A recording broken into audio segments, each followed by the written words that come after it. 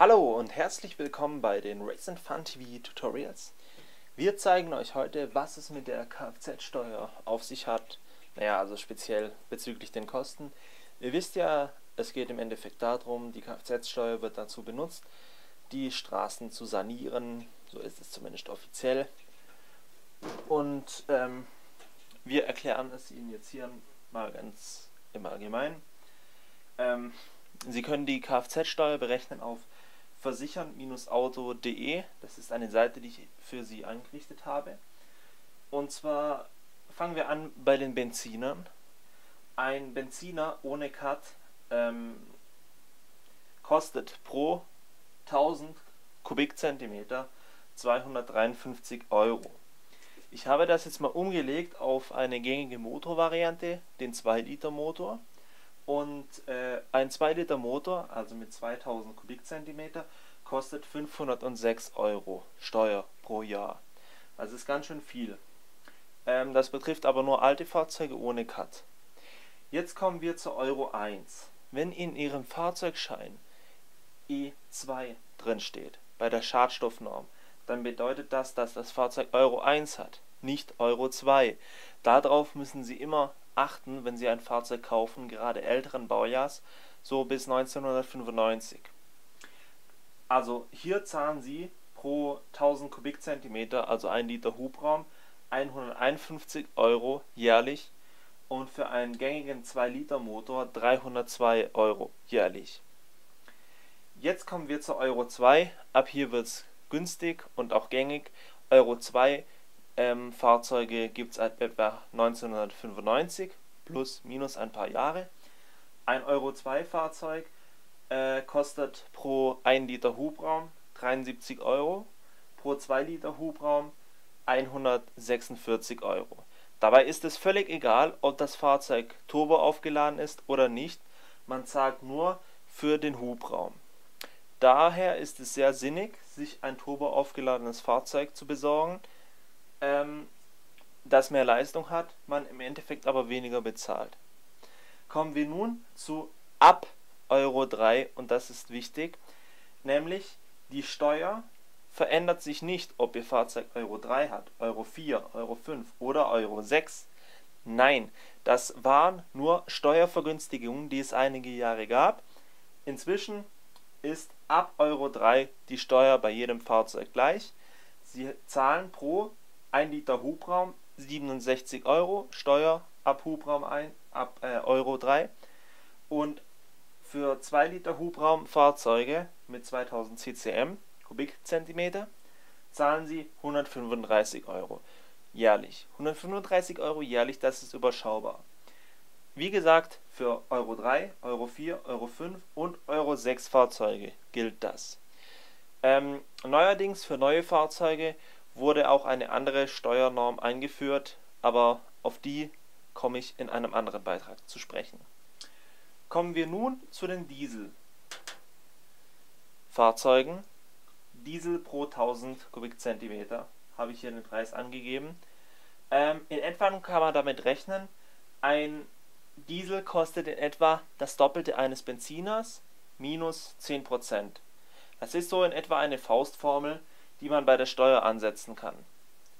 Im Grunde ist ein Diesel auf jeden Fall doppelt so teuer, ja, in etwa wie ein Benziner. Für einen Euro 1 Diesel zahlen Sie 273 Euro pro 1 Liter Hubraum. Das sind fast 600 Euro für einen 2 Liter Diesel mit Euro 1. Schauen Sie, was Sie hier für Euro 1 zahlen würden, etwa 302 Euro für einen Benziner. Das heißt, der Diesel wird fast doppelt so teuer sein. Ein Euro 2 Diesel, ähm, wie es Mitte der 90er dann eingeführt wurde, diese kosten 172 Euro jährlich pro angefangene 1000 Kubik. Das heißt, wieder auf 2 Liter umgeschlagen, liegen wir hier irgendwo bei rund 340, 344 Euro. So, Kopf überschlagen. Und jetzt schauen wir 344 Euro für 2 Liter Hubraum. Bei den Benziner nach, da sehen wir, dass wir für einen 2 Liter Benziner mit Euro 2 nur 146 Euro zahlen würden. Und wieder ab Euro 3, wie auch bei den Benzinern, ab Euro 3 zahlen wir beim Diesel pro angefangener 1 Liter 154 Euro und in demzufolge 308 Euro für einen 2 Liter Diesel. Dabei ist es auch wieder egal, ob mit Turboaufladung oder nicht, aber die neueren Fahrzeuge verfügen ja alle über Turboaufladung. Daher auch die Bezeichnung TDI für Turbo Diesel Injection. Turbo Diesel mit Einspritzung. So, wir haben hier 308 Euro für 2 Liter ab Euro 3. Und jetzt schauen wir, was das bei einem Benziner kosten würde, nur 135 Euro. Das heißt, bei Euro 3 würde uns der Diesel sogar mehr als zweimal so viel kosten. Hm. So, ähm,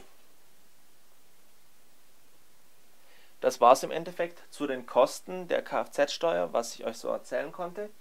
Wie gesagt, auf der Seite www.versichernauto.de, ähm, da gibt es rechts oben gibt's den Button Kfz-Steuer versichern, ähnlich aufgebaut wie Facebook.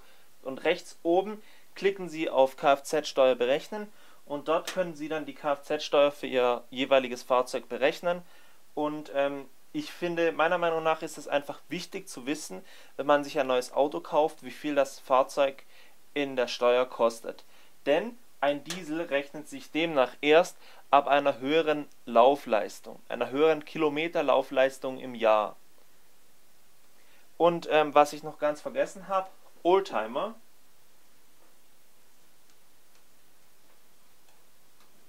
Oldtimer, die kosten jährlich ähm, ich will nichts Falsches sagen, 196 Euro, glaube ich.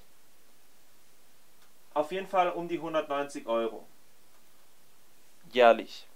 Okay? Daher können Sie, wenn Sie ein altes Fahrzeug besitzen, das ohne Cut ausgerüstet ist ähm, und das zum Beispiel 506 Euro kosten würde, ähm, können Sie das Fahrzeug auch auf Oldtimer anmelden, wenn es einen guten Zustand hat und alt genug ist. Und da müssen Sie berücksichtigen, dass beim Oldtimer die Steuer pauschal ist. Das heißt, Sie können sich selbst eine Dodge Viper, die, nein, die gab es damals noch gar nicht, eine Corvette mit 8 Litern Hubraum kaufen. Die würde Sie ansonsten hier über 3000 Euro, Moment, über 2000 Euro kosten, ohne Cut, pro Jahr. Wenn Sie das alte Fahrzeug jetzt als Oldtimer anmelden, wenn es den entsprechenden Zustand hat, zahlen Sie anstatt 2000 Euro nur noch 190 Euro und sparen damit 1800 Euro.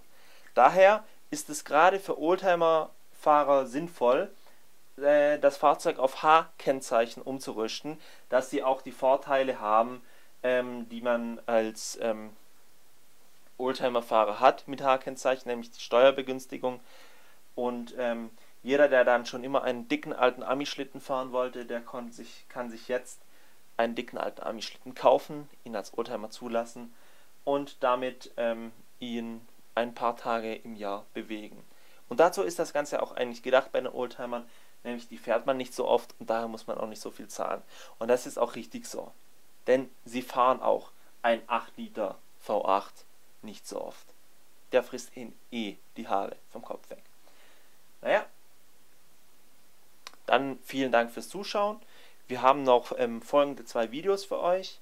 Bei Anregungen und Kritik, Fragen, Themen für die nächste Sendung bitte unten die Kommentarfunktion benutzen. Vielen Dank fürs Zuschauen und schaut das nächste Mal wieder rein bei Race and Fun TV Tutorials. Dankeschön fürs Zuschauen. Tschüss.